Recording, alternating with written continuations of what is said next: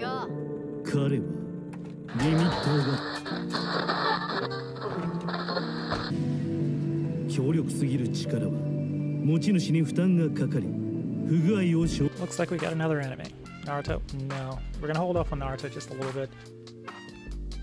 A new character visual for one of One Punch Man's most iconic characters, Genos, has been revealed ahead of the series' third season release.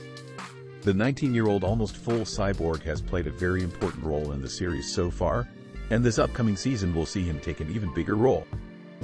それがリミッターだ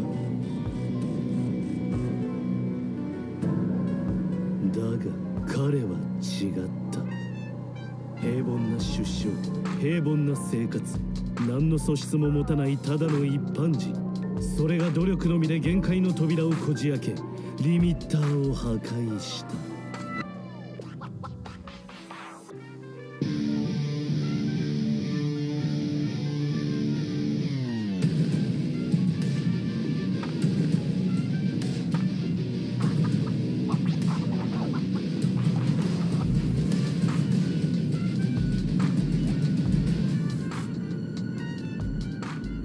最強対最強。